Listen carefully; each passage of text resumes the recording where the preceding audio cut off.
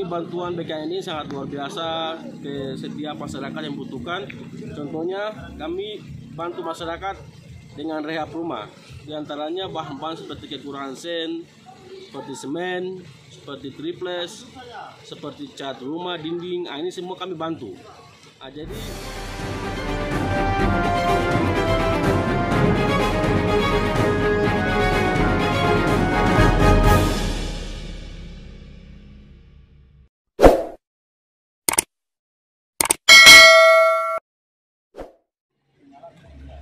selamat siang kepada seluruh teman-teman pengurus DPD Kabupaten se-Indonesia.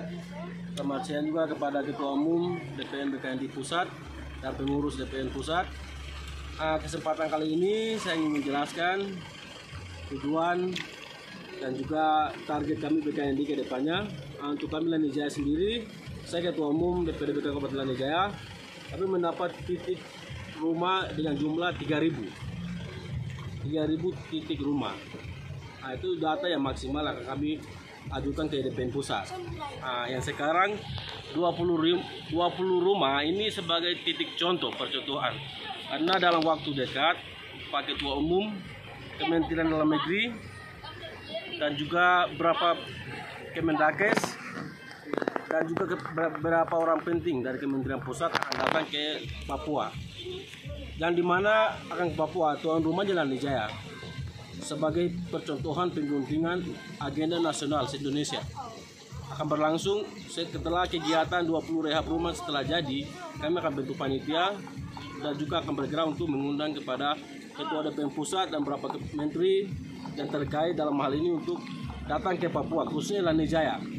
Nah ini saya pesan sebagai ketua ini bantuan BKN ini sangat luar biasa ke setiap masyarakat yang butuhkan. Contohnya kami bantu masyarakat dengan rehab rumah.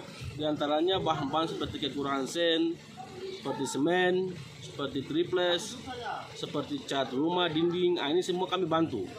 Ah, jadi saya mau menyampaikan kepada seluruh pemuda potensial dan juga toko gereja kepada kaum pemerintah intelektual yang ada di Lanijaya, mari kita bersatu bergandeng tangan sama-sama bekerja untuk demi kesejahteraan masyarakat dari segi pembangunan.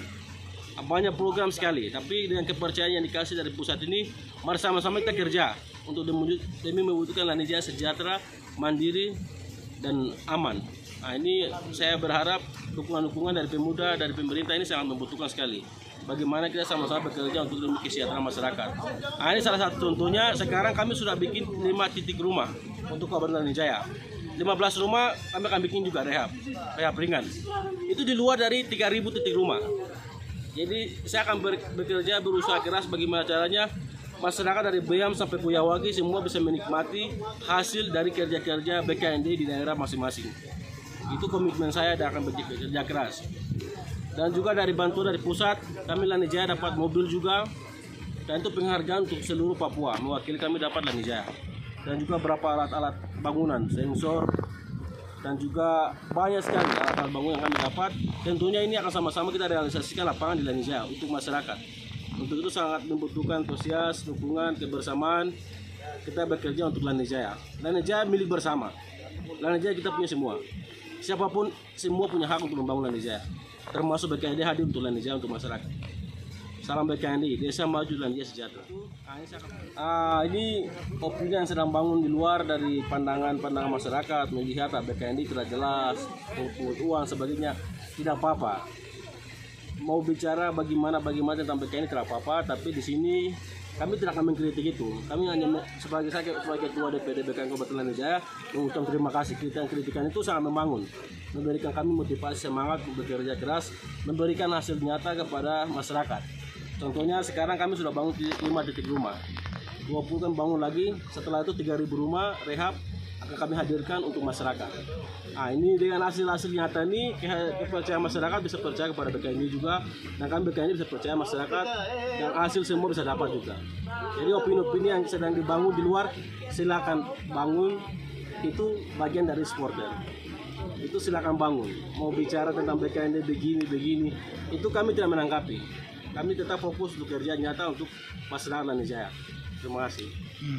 Ya kita bisa lihat dalam kah?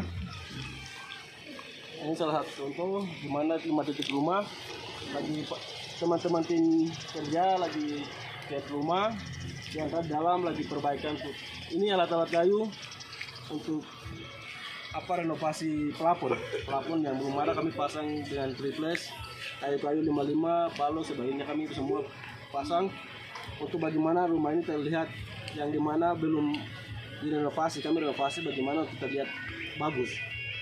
Nah, ah contohnya dalam.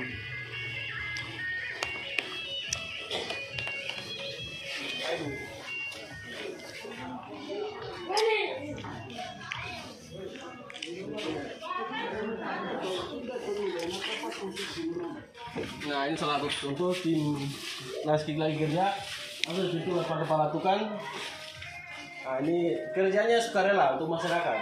Tanpa digaji, tanpa dibayar. Tapi luar biasa, saya sangat apresiasi salut kepada teman-teman Yang begitu memiliki jiwa dan hati untuk diri masyarakat Indonesia. Luar biasa. Ke depannya ya mari kita bergandeng tangan kita sama-sama untuk demi kesejahteraan masyarakat. Itu pesan saya singkat saja